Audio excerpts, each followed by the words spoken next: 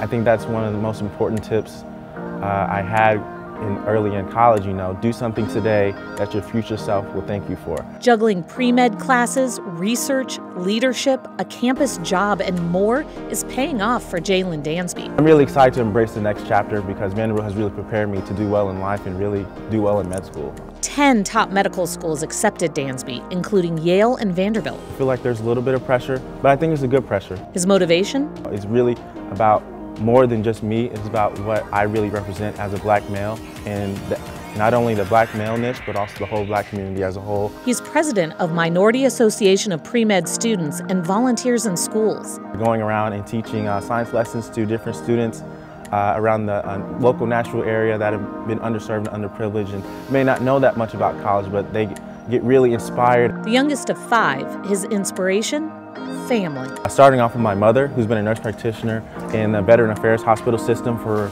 25 plus years now and still working. Starting his future with gratitude. It goes back to just being thankful for Vanderbilt, thankful for my mentors, thankful for people that really supported me, and thankful for uh, really everything that came together to put me in this position, you know, because I couldn't have done it alone. I could not have done it.